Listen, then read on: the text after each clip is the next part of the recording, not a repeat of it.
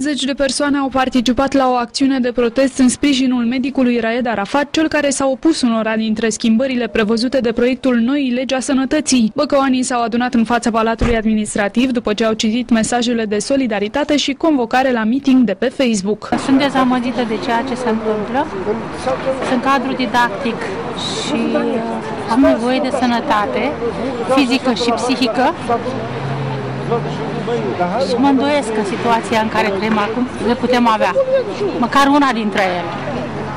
Și atunci trebuie să facem ceva. Din păcate, din păcate suntem foarte puțini, că dacă s-ar fi dat ceva la mol, la promoție, s-ar fi călcat lumea în picioare, iar ce vrem să noi facem? Am venit tot la o promoție, de fapt este o promoție ce ne-a, ce ne-a făcut doctorul Arafat de pe termen lung. Pentru viitorul nostru și să facem o schimbare, pentru că nu suntem de acord cu ceea ce urmează să se întâmple și nu este corect să se întâmple așa ceva. Ce urmează să se întâmple? Se vrea desfințarea smurdului și privatizarea sistemului de ambulanțe și nu este corect.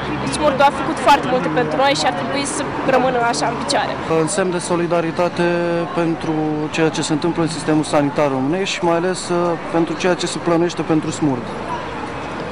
Credeți că se va schimba ceva? Uh, noi sperăm.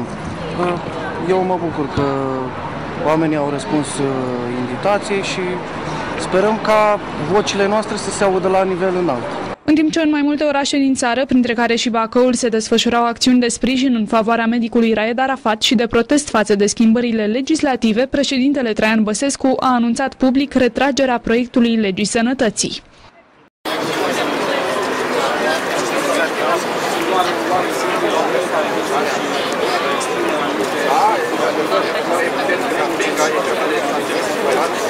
E vorba de astăzi, dacă acum să vedem imaginea mică, poate cum auzi, mai